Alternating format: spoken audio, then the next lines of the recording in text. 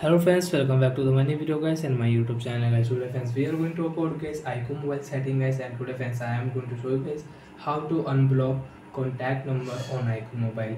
Friends we want to unblock contact number. Friends we want to remove number from block list.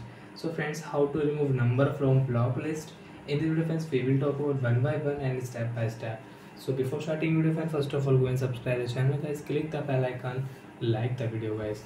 Friends open your haiku mobile phone call setting click हो after way. Phone call setting pens you can see your contact list setting recent pens you can check from your favourite list you can check from your fans you want to add a number on your favourite list so fans के लिए here and fans के लिए on star option and fans you can see number will add on our favourite list and guess now you can add गए one by one guess and number from here click here and fans you can add this number click here and you can add number on your favourite list and friends you want to remove number from favorite list you can remove one by one select number and you can remove it. So friends click here three dot.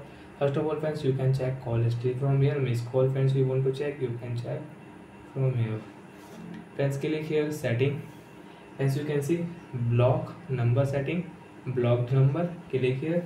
So friends you have block you have blocked any contact number select number unblock again select number unblock. So guys i will i will unblock all contact number.